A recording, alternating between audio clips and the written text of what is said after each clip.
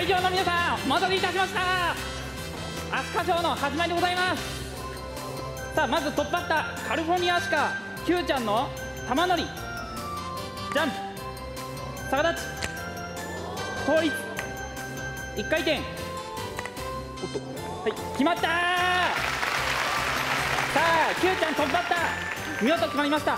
さあそして続いてはアシカ兄弟太郎次郎の鳴き声を発しながらリフティング。スタート。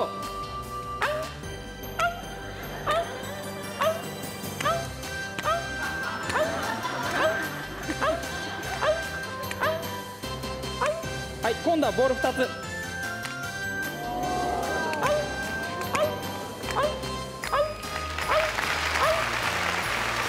決まった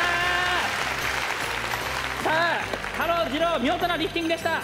さあそしていよいよ最後の大技。アシカ君の空中アクロバットを披露します。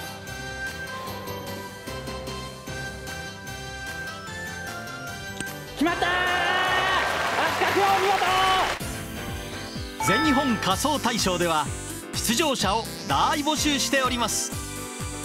詳しくは日本テレビ仮装大賞公式ホームページをご覧ください。